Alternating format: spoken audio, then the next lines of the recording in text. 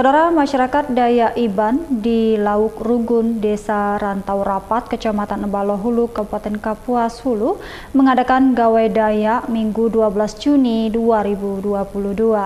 Kegiatan itu dihadiri Bupati Kapuas Hulu, Franciscus Dian.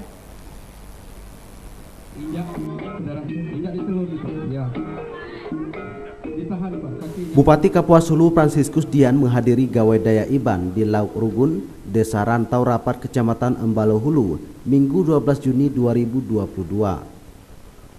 Gawai daya ini merupakan ungkapan syukur kepada Tuhan atas berkat berlimpah sepanjang tahun lalu dan berharap berkat di tahun berikutnya serta untuk melestarikan budaya. Franciscus Dian meminta kepada para orang tua untuk terus mengajarkan adat istiadat dan budaya kepada kaum muda sehingga tidak punah. Di mana kegiatan gawai ini tadi sudah dijelaskan juga oleh Ibu Dewan kita merupakan ungkapan syukur kepada Tuhan Yang Maha Kuasa atas berkat yang berlimpah, rezeki yang kita terima sepanjang tahun yang lalu. Dan tentu kita berharap ada berkat juga di tahun yang berikutnya. Nah, oleh sebab itu kita merayakan, kita bersuka cita, sekaligus juga melestarikan adat istiadat budaya kita. Eh, kemudian semua rombongan.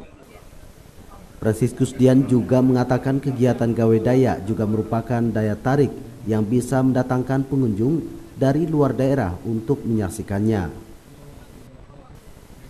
Dari Kabupaten Kapuas Hulu, kontributor YTV Ropiandila mewartakan.